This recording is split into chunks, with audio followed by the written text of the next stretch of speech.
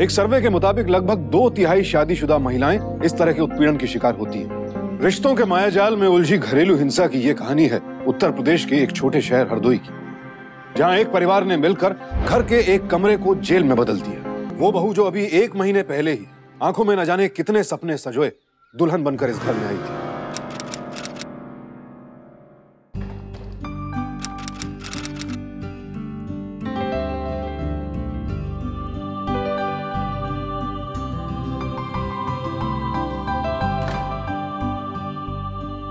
तो ये है तुम्हारा और हमारे लल्ला जी का कमरा। बैठो दुल्हन। वो कहते हैं ना कि अगर कोई घर में अपने मन की बात कहने वाला, सुनने वाला हो तो ज़िंदगी बड़े आराम से कट जाती है। औरों का तो पता नहीं, पर हाँ तुम अपने मन की बात मुझसे ज़रूर कह सकती हो, है ना?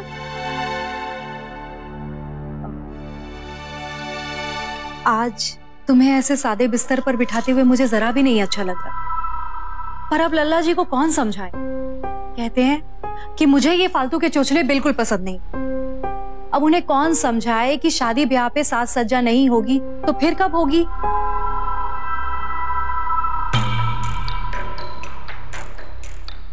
भाभी पापा ने बताया हमें आपके बारे में।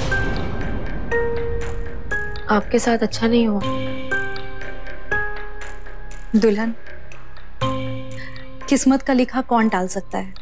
अब नसीब में जो लिखा के आए हैं, वो तो होना ही है। खैर, तुम इन सब की चिंता छोड़ो। आज तो तुम्हारे सपनों की रात है, उसकी चिंता करो, है ना? बड़ी जल्दी में लग रहे हो लल्ला जी। हाँ?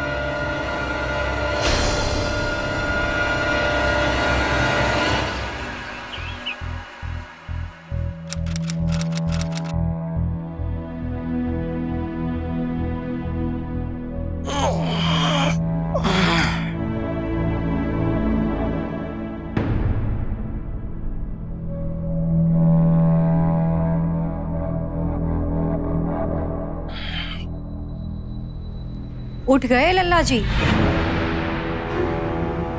वो चादर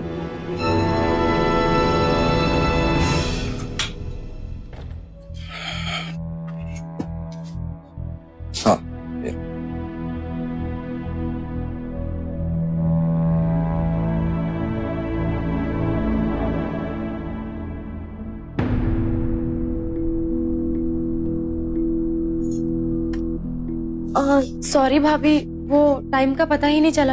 अरे नई नवेली दुल्हन हो लल्ली। आज तो कितनी भी देर करती ना तो कुछ ना कहती तुम्हें। भाभी आप जाइए। इनका सामान हम दे देंगे इन्हें। हाँ हाँ। अब लल्ला जी का सारा काम तुम्हें ही तो करना है। कब कैसे क्या करना है तुम्हें मैं सब कुछ सिखा दूँगी। तुमसे बड़ी हूँ घर में और अब जब तुम आ गई हो तो मुझे भी तो आराम करना चाहिए। क्यों? अच्छा रात को लल्ला जी सोफे पे ही सोए थे क्या? हाँ भाभी। अरे शादी की थकान होगी। उतरते उतरते वक्त लगता है। और वैसे भी सारे काम लल्ला जी को ही तो करने पड़ते हैं। हाँ तुम चिंता मत करो। अच्छा सुनो आज घर में दुल्हन का पहला दिन है। हाँ आँगन में गुसल खाना है। जाके जल्दी से नहा लो। और उसके बाद घर में सबके लिए कुछ मीठा बना देना। हाँ? चलो जो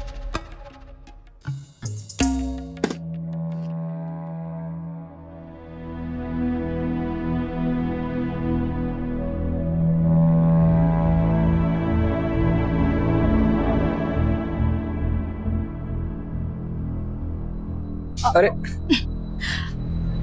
लल्ला जी, रुको।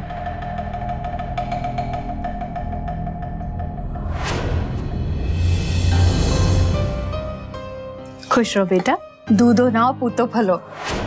भाभी, मैं जल्दी से खीर बना के लाती हूँ। खीर तो मैंने बना दी है दुल्हन। वो लल्ला को जल्दी निकलना था ना, तुम बस एक काम करो, तुम सबको मीठा खिलाने की रस्म पूरी कर दो बस।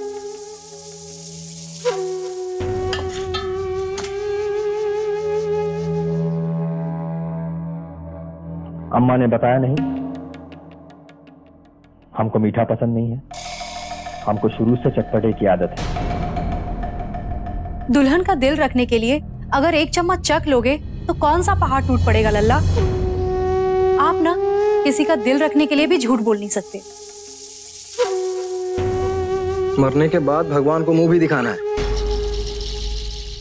क्या कहेंगे वहाँ? कि खूब झूठ बोल कर आए।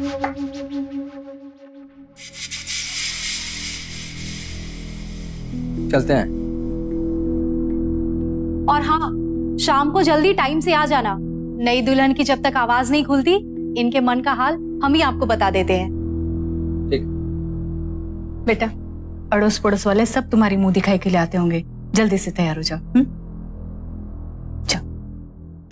और हाँ अम्मा ब्याह शादी की सारी रस्में आज ही खत्म कर लीजिए। ये रोज रोज मेहमानों का घर में आना जाना मुझे जरा भी पसंद नहीं।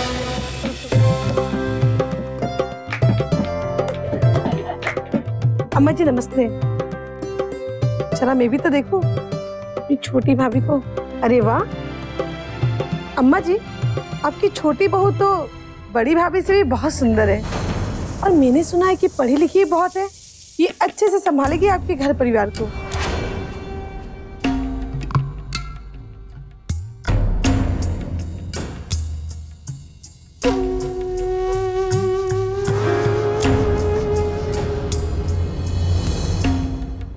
अंजलि का पति राघव एक ट्रैवल एजेंट था। वो तीर्थ यात्रियों को चार धाम की यात्रा पर भेजा करता था। शादी की पहली रात राघव का बिस्तर से उठकर सोफे पर सो जाना, ससुराल में पति का पत्नी के हाथों परोसी खीर खाने से इनकार करना। अपने प्रति राघव का ये उपेक्षा भरा रवैया अंजलि को समझ नहीं आ रहा था। आखिर माजरा क्या था? कहीं ये शादी राघव की मर्ज़ी के खिलाफ तो नहीं हुई थी। या फिर कहीं शादी में अंजलि के घर वालों से कोई गलती तो नहीं हो गई थी? अंजलि को अपनी ससुराल में अपने किसी भी सवाल का जवाब नहीं मिल रहा था। दूसरी ओर आस पड़ोस के लोग उसकी तुलना सक्सेना परिवार की बड़ी बहू पूनम के साथ कर रहे थे। पूनम, जिसका पति उसे दो साल पहले छोड़कर चला गया था। एक तरफ़ पूनम की ज़िंदगी का ये सूनापन, दूसरी तरफ़ राघव का ये व्यवहार। अंजलि को यह सब काफ़ी अजीब लग रहा था।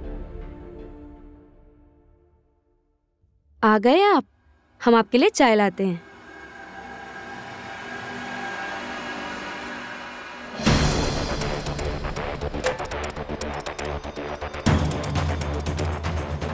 हम्म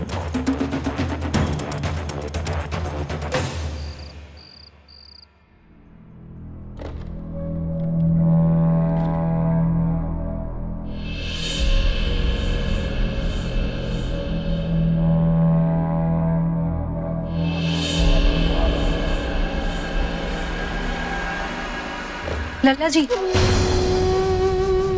आपके दफ्तर से फ़ोन है किसी का? अ, अच्छा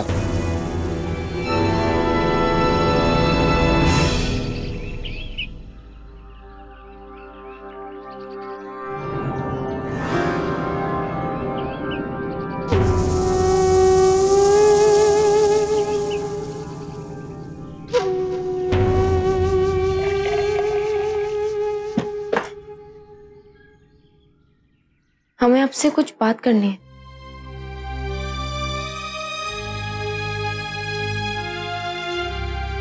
हमसे कोई गलती हुई है क्या? मेरा मतलब देखो, पूरा हफ़्ता खाली निकला है। तीर्थ यात्रियों के लिए एक भी बस रवाना नहीं करा पाए मौसम खराब चल रहा है और हमारा दिमाग भी। डर से सर फटा जा रहा है। अब तुम हमारा दिमाग और खराब मत करो।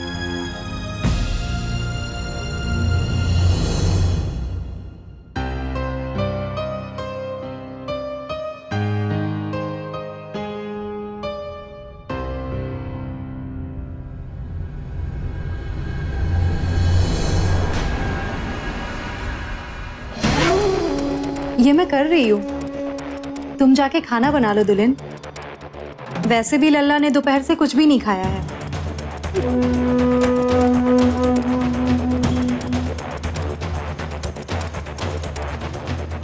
अब आप मेरी चिंता ना किया करें।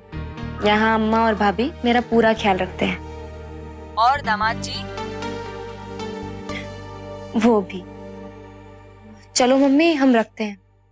हम जल्दी आएँगे मिलने। अभी मुझे इनके साथ निकलना है। बाद में फ़ोन करती हूँ। बाय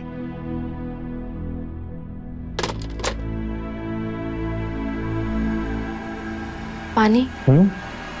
रख दो। हम तैयार हैं। चले? कहा? शादी को दो हफ़्ते हो गए हैं लल्ला जी और आप दुल्हन को कहीं घुमाने भी नहीं ले गए। हर रोज घर में बंद संवर कर बैठे रहने का क्या मतलब है? आज दुल्हन को अपने साथ लेकर जाइए और कहीं घुमा कर लाइए। दुल्हन को हम ही ने कहा था तैयार होने के लिए। बेचारी जब से शादी करके आई है घर के कामों में ही लगी रहती है। काम धंधा छोड़कर हमारे पास उन्हें घुमाने का समय नहीं है। काम तो आप रोज ही करते हो लल्ला जी। लेकिन दुल्हन को समय देना भी तो आप ही का फ़र्ज़ है ना? तो ठीक है। आप कहती हैं तो इन्हें घुमाने का फ़र्ज़ पूरा कर लेते हैं। लेकिन कल से कमाने के लिए हमारी जगह इन्हें काम पे भेजिएगा।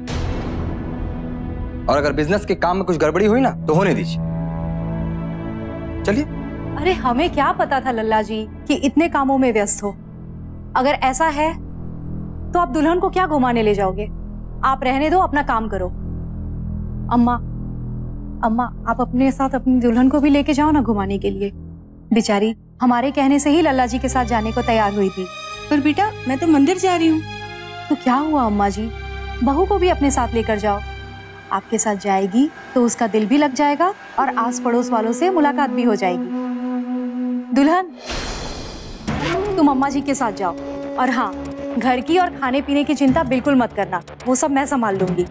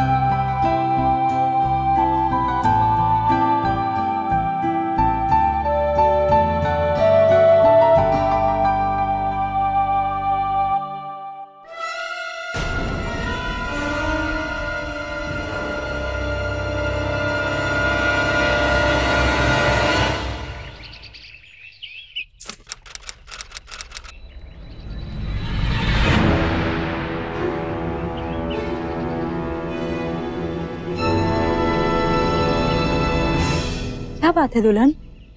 कुछ परेशान दिखाई दे रही हो? लल्ला जी ने कुछ कहा क्या? पराया समझती हो हमको? वो भाभी हमें कुछ समझ नहीं आ रहा है। हमसे कोई गलती हुई है क्या? वो हमसे फासला बना के चल रहे हैं। कहने को वो हमारे साथ एक कमरे में तो रहते हैं पर हमारा कोई उनके साथ ऐसा संबंध नहीं है भाभी। तुम चिंता क्यों करती हो? नया घर है नया रिश्ता है। एक दूसरे को जानने समझने में वक्त तो लगता ही है। खैर हम लल्ला जी को हम लल्ला जी को समझा भाभी क्या हुआ? बहू बहू।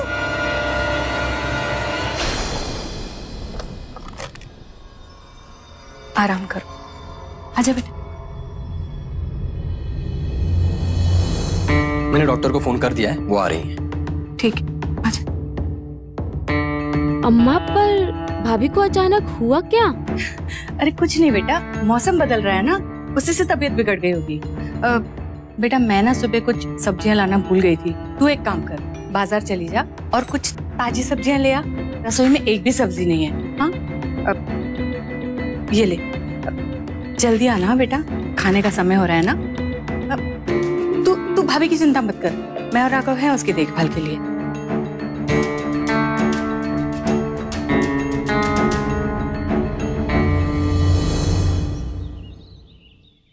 देखिए घबराने की कोई बात नहीं।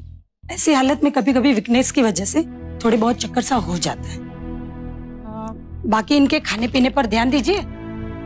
और और कोई दिक्कत हो तो मुझे फ़ोन कर दीजिए।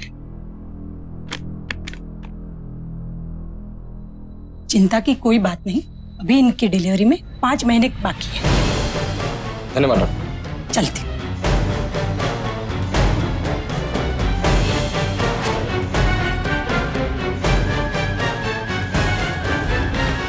पूनम का पति यानी राघव का बड़ा भाई दो साल पहले घर छोड़कर जा चुका था।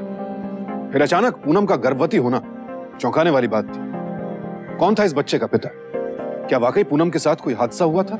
या फिर बात कुछ और थी जिसे राघव और उसकी माँ अंजलि और समाज से छिपा रहे थे? लेकिन अम्मा बड़े भैया को घर से गए तो दो साल से ज़्यादा हो चुके हैं। फिर भाभी का माँ बनना? भाभी के साथ ऐसा क्या हुआ है अम्मा? बहुत तकलीफ़ में है वो। और अपनी तकलीफ़ वो किसी को नहीं बताती। इसका मतलब भाभी ने इस बारे में किसी से? भाभी मुझसे कुछ नहीं छुपाती। मैं उनसे एक बार बात करके देखती हूँ कि उनके साथ हुआ क्या है। उनको किसी ने धोखा अंजलि इस बारे में उनसे भी बात करने की कोई ज़रूरत नहीं। लेकिन हमें इस बारे में पता होना चाहिए। वक्त आने पे जो पता चलना है चल जाएगा। भगवान के लिए जो कहा है उसको समझ लो। इस बारे में बात करके उन्हें किसी गुनाह का एहसास कराने की कोई ज़रूरत नहीं। और अगर इतनी चिंता है ना तो उनका ख्याल रखो। बहुत बड़ा एहसान होगा हम पर। एक नई नवेली दुल्हन के दिमाग में अपनी ससुराल को लेकर कई सवाल उठ रहे थे। लेकिन अपने इन सवालों का जवाब अंजलि को अपने इस नए परिवार से नहीं मिल रहा था। उसके मन में तरह तरह के ख्याल आ रहे थे। अंजलि के लिए रिश्तों की अहमियत बहुत ज़्यादा थी और उसे अपने माता पिता से मुश्किल घड़ी में अपनों के काम आने की सीख मिली थी। इसीलिए उसके मन में पूनम के प्रति वाकई सहानुभूति थी। और जब उसे पूनम की प्रेगनेंसी की बात पता चली तब तो उसने पूनम की देखभाल की सारी ज़िम्मेदारी अपने ऊपर ले ली।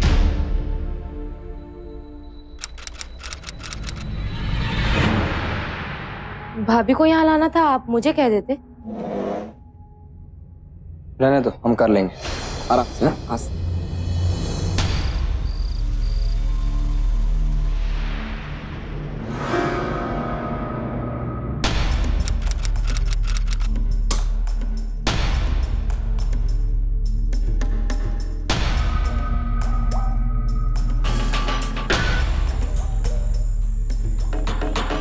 हमारा यकीन करो। बहुत जल्द सब ठीक हो जाए।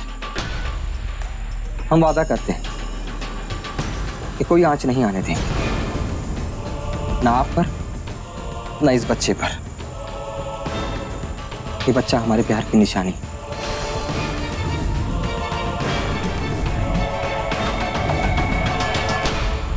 पूनम गर्भवती है, इस बात से तो अंजलि चिंतित थी। लेकिन जब उसे यह पता चला कि यह बच्चा किसी और का नहीं स्वयं उसके पति का है। तो इस बात ने उसे हिलाकर रख दिया। अपनी जबान पे लगाम दो। हमने कोई गुनाह नहीं किया है। हम प्यार करते हैं एक दूसरे से। एक दूसरे से प्यार करते हैं? तो मेरी ज़िंदगी दाव पे क्यों लगाई? क्यों लाए मुझे इस घर में दुल्हन बनाकर? क्यों लाए आप दोनों अपने प्यार के बीच में मुझे? बोलिए। जवाब दीजिए। जवाब चाहिए? तो सुनो। हम तुम्हें इस घर में इसलिए लेकर आए ताकि इस घर की बात घर में ही रह जाए। ये बच्चा हम दोनों का है। और हमने तुमसे इसलिए शादी की ताकि इस बच्चे को समाज मेरे और तुम्हारे बच्चे के रूप में देखे। हम नहीं चाहते कि ये समाज हमारे रिश्ते के बारे में तरह तरह की बातें करे। हमारे परिवार पर उंगली उठे इसीलिए हमने तुमसे शादी की। तो आखिर उस सच से पर्दा उठ ही गया, जिससे इस घर की बहू के अलावा पूरा परिवार वाकिफ था। अंजलि गरीब परिवार से ज़रूर थी, लेकिन कमज़ोर नहीं थी। पढ़ी लिखी और बेहद खुददार लड़की थी। उसे अपने परिवार से सच के लिए जीने और लड़ने के संस्कार मिले पूरे परिवार ने मिलकर मुझे धोखा दिया है। हमें नहीं रहना यहाँ। हमने कभी नहीं सोचा कि हमें इस परिवार में सिर्फ़ नाम के लिए दुल्हन बना के लाया गया है। अपने पाप को छुपाने के लिए मुझसे रिश्ता जोड़ा गया है। इस अन्याय के खिलाफ मैं चुप बैठने वालों में से नहीं हूँ। कल सुबह तक सबको पता चल जाएगा कि इस घर में क्या गुल खिलाए जा रहे हैं। मैं पुलिस स्टेशन जाऊँगी, कोर्ट जाऊँगी, चुप नहीं बैठूँगी। समझाने के बावजूद भी लल्ला जी की बात तुम्हें समझ में नहीं आ रही है। हंगामा करोगी। सबको बताओगी कि सच्चाई क्या है। लल्ला जी और इनके परिवार को बदनाम करके ही दम लोगी। हम कुछ बोल नहीं रहे हैं तो क्या लगता है तुम्हें कि हम डर गए हैं? एनसीआरबी के आंकड़ों के अनुसार सन 2009 से 2011 के बीच औरतों पर होने वाले जुल्म और हिंसा के सबसे ज़्यादा मामले उत्तर प्रदेश में दर्ज किए गए। अपनी भाभी के साथ नाजायज रिश्ता कायम किया अंजलि के पति राघव ने। और उन दोनों के किए की सजा भुगतनी पड़ रही थी अंजलि को। हेलो? मैं अंजलि का पापा बोल रहा हूँ बेटा। बाबूजी अभी हम आपके बारे में ही सोच रहे थे। बहुत लंबी उम्र है आपकी। हम तो तुम्हें रोज याद करते हैं बेटा। कई दिनों से अंजलि से बात भी नहीं हुई। है लगता है ससुराल जाकर मैके को तो बिल्कुल भूल ही गई है। कैसी बात कर रहे हैं बाबूजी? भला अपने माँ बाप को भी कोई भूल सकता है क्या? अंजलि को लेकर हम आपसे मिलने खुद आएँगे। हाँ लेकिन जरा बात तो कराओ उससे बेटा। बाबूजी वो घर पे होती तो अभी आपसे ही बात कर रही होती। समझे जी समझन जी आप अचानक बिना खबर किए? बस यहाँ पास से आए थे अपने एक दोस्त की बेटी की शादी में। सोचा अपनी बेटी से भी मिलते चलते हैं। आइए ना आइए। राघव बेटा बहू के मम्मी पापा आए हैं। हाँ बाबूजी जीते रहो बेटा। हाँ। मैं मैं चाय बना के लाती हूँ। समदन जी आप जानते हैं कि हम बेटे के घर का कुछ खाते नहीं। और दो दो बहू होते हुए आप चाय बनाने को जाओगे। अंजलि कहाँ है? आपने एक बार अगर फ़ोन कर दिया होता ना तो मैं अंजलि को रोक लेता। वो भाभी के साथ बाज़ार गई। बेटा कुछ नहीं वो बिल्ली फिर कमरे में घुस गई होगी। उसी ने कुछ तोड़ा होगा। हाँ मैं, मैं देखता हूँ। हाँ। अच्छा बेटा हम चलते हैं। पर चाय तो ले लेते नहीं आज नहीं फिर कभी। अगली बार बता के आएँगे।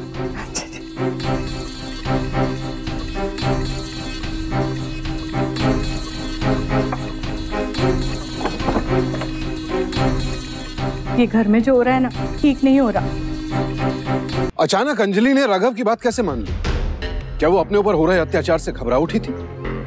क्या वाकई उसने घुटने टेक दिए थे? या फिर अपनी जीत की राह में पहला कदम उठाया था उसने?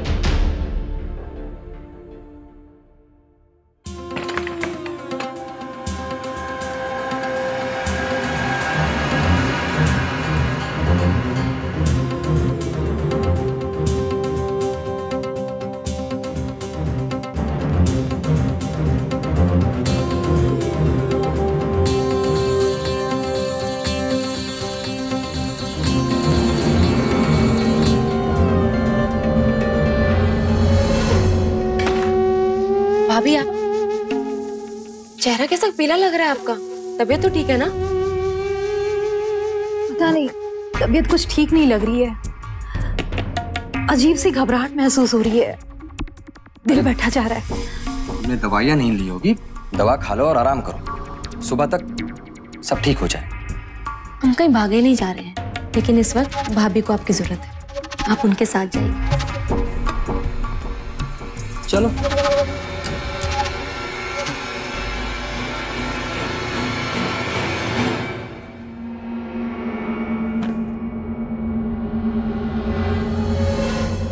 अपनी हरकतों से बाज नहीं आ सकते ना? अरे, एक दिन भी सबर नहीं होता आपसे। आखिर हो तो मर्द ही। अरे, ऐसा क्या रह गया जो मुझसे नहीं मिला? हमने उसके सामने तुमसे कहा कि हम तुमसे प्यार करते हैं। इसके बाद भी एतबार नहीं है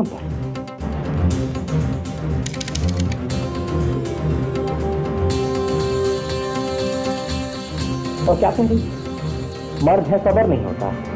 हाँ तो नहीं होता है। हम अपनी मर्ज़ी के खुद मालिक हैं। किसी के गुलाम नहीं है। और वैसे भी वो बीवी लगती है हमारी। आधा महीना साथ देने का वादा किए हैं।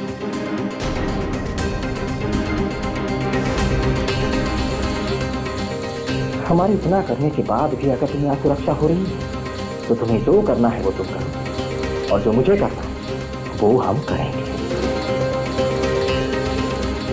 अब लल्ला जी पे इतना भी हक नहीं रहा हमारा। तुम्हारे सिवा हमारा है ही कौन?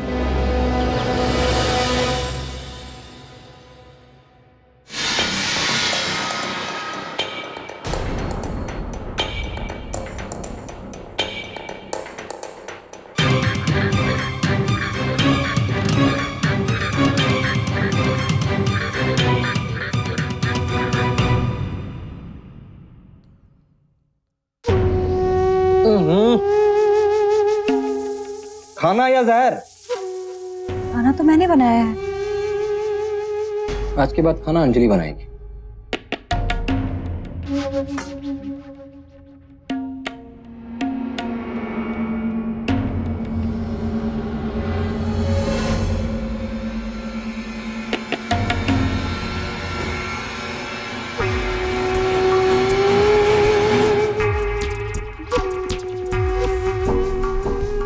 मुझे मालूम है कि तुम क्या कर रही हो।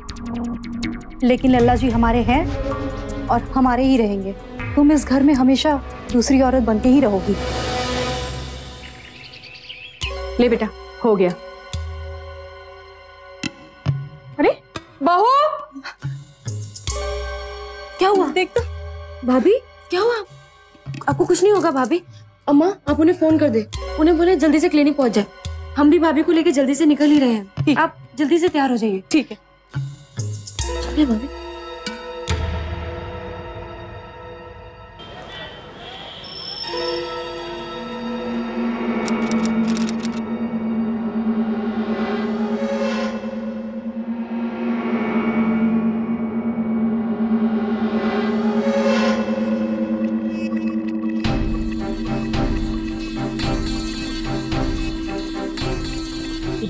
खाना खाया था? नहीं। खाना नहीं खाया? डॉक्टर कैसी तबीयत इनकी? ऐसे चिंता करने की कोई बात नहीं अब नॉर्मल ऐसी हालत में ये सब कुछ होता है। और आज दोपहर को इन्होंने खाना ही नहीं खाया। प्लीज़ इनके खाने पीने का खास ख्याल कीजिए। मैं दवाई लिख के देती हूँ। हाँ। अम्मा अंजलि कहाँ है? वही तो हमें लाई थी बेटा। दिखाई नहीं दे रही। मौका देख के निकल ली। पर आप चिंता ना करें। बाकी जाएगी कहाँ? आप इन्हें लेके घर जाइए हम उसे लेकर आते हैं। आराम से।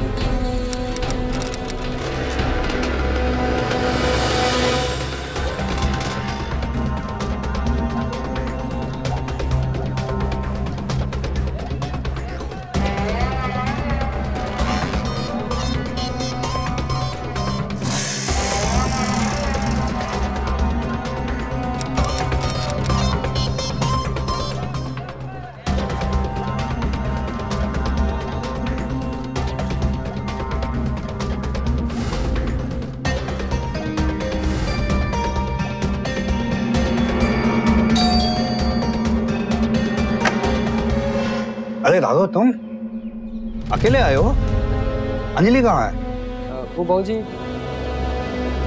अंजलि पहुँची नहीं नहीं तो क्या मतलब अंजलि अकेले आने वाली थी अरे माफ़ कीजिएगा बाबूजी। वो दरअसल मैं अंजलि को ठीक से फ़ोन पर समझा नहीं पाया। वो क्लिनिक पर भाभी का चेकअप करवा कर घर ही चली गई हो। भाभी की तबीयत खराब है? नहीं नहीं वो नॉर्मल रूटीन चेकअप होता है ना वो करवाना था। अच्छा बाबूजी मैं कल अंजलि को पक्का आपसे मिलने के लिए लेकर आता हूँ है ना? मैं चलता हूँ घर पर मेरा इंतज़ार कर रही हूँ। और पहुँच के फ़ोन कर देना जी जी बिल्कुल।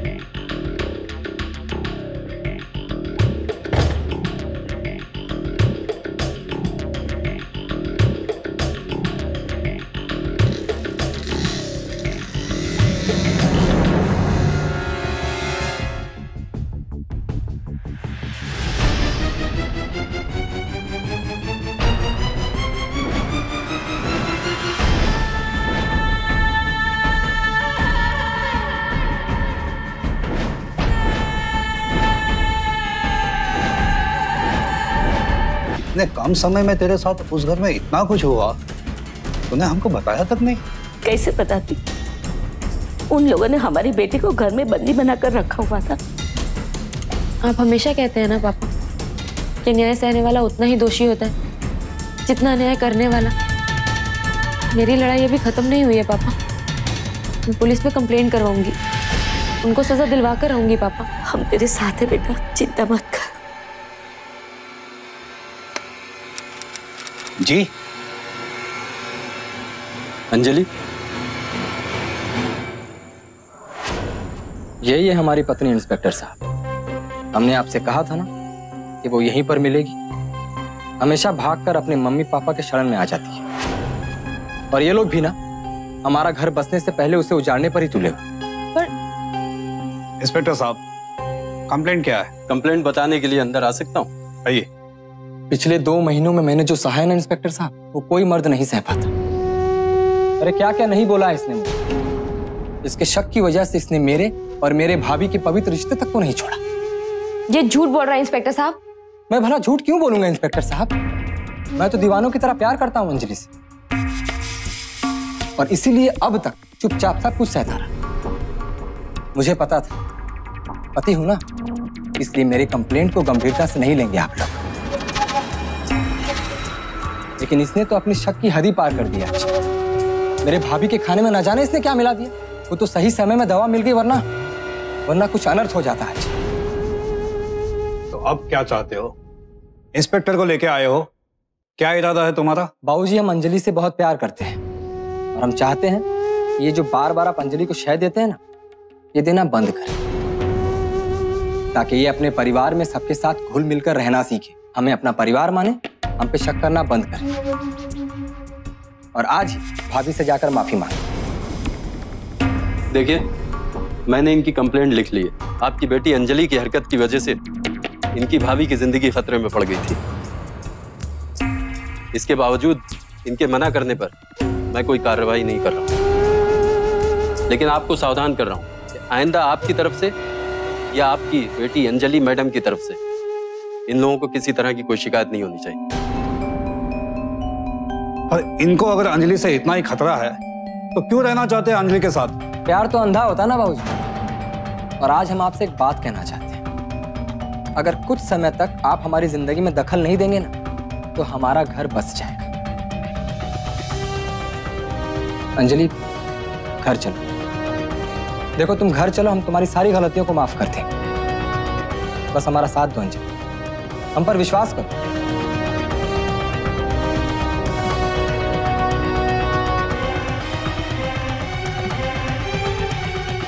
ठीक है। हम आपके साथ चलेंगे। लेकिन इंस्पेक्टर साहब हम आपसे विनती करते हैं कि आप हमारे साथ चलें।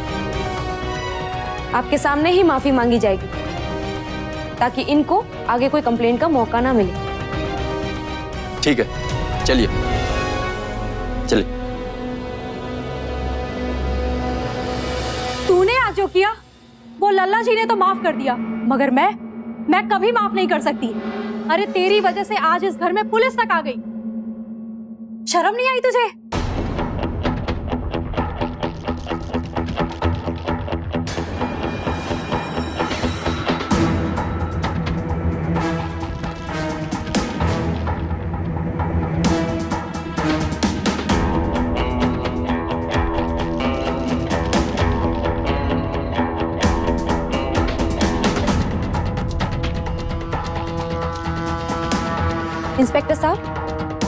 पिछले दो साल से इनके पति गायब है और ये बात पूरा मोहल्ला जानता है। तो फिर ये चार महीने से प्रेग्नेंट कैसे?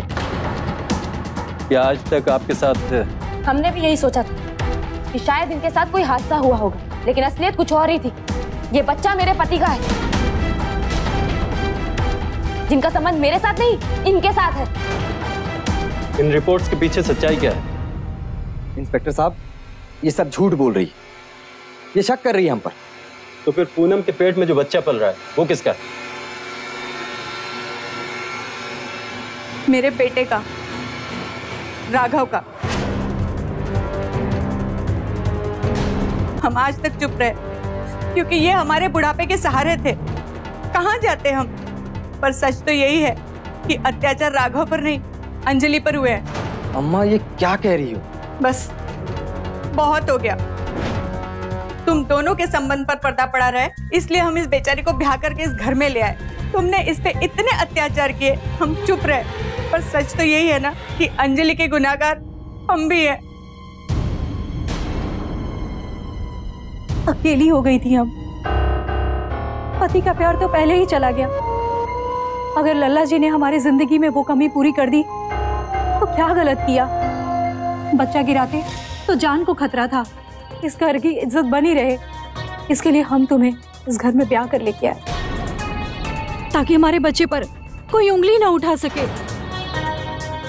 दुनिया की इतनी ही परवाह थी तो रिश्ता क्यों बनाया? और अगर रिश्ता बनाया तो उसको निभाने की हिम्मत भी होनी चाहिए थी। मुझे इस झूठे रिश्ते में डालकर पुतली की तरह इस्तेमाल करने का कोई हक नहीं था आपका। आप सबने जो अत्याचार मेरे साथ किए हैं आप सबको उसकी सजा मैं दिलवा कर रहूँगी। भारतीय संस्कृति और सभ्यता औरतों को अपने पति और उसके परिवार का आदर करने की सीख देती है। इसीलिए कई बार मुश्किल हालात में महिलाएँ खुद पर होने वाले अन्याय को चुपचाप सहन कर लेती हैं। उसके खिलाफ आवाज़ नहीं उठाती हैं, ये सोचकर कि कहीं परिवार की इज़्ज़त समाज में खराब ना हो। लेकिन चुप बैठने से समस्या का हल नहीं निकलता। उल्टे समस्या और बढ़ती है। ज़रूरत है तो जुल्म के खिलाफ मज़बूत आवाज़ उठाने की, पक्के इरादे के साथ कदम बढ़ाने की। आईपीसी की धारा चार ए के तहत अगर किसी स्त्री पर उसका पति या पति का कोई भी सगा संबंधी किसी भी तरह का अत्याचार करता है तो उसे तीन साल तक की कैद की सजा हो सकती है और साथ ही साथ जुर्माना भी भरना पड़ सकता है। राघव, उसकी माँ और पूनम को इसी सेक्शन चार ए के तहत सजा सुनाई गई। तो आइए, समाज में फैली इस हिंसा और रिश्तों को यूँ नीलाम करने वाले लोगों के खिलाफ आवाज़ उठे अपने अधिकारों के लिए लड़ें, क्योंकि हमारी चुप्पी अपराधियों का हौसला बढ़ाती है। अब मैं सुशांत सिंह आपसे विदा लेता हूँ। फिर मुलाकात होगी संघर्ष भरी एक और ऐसी सत्य घटना के साथ। देखते रहें सावधान इंडिया इंडिया फाइट्स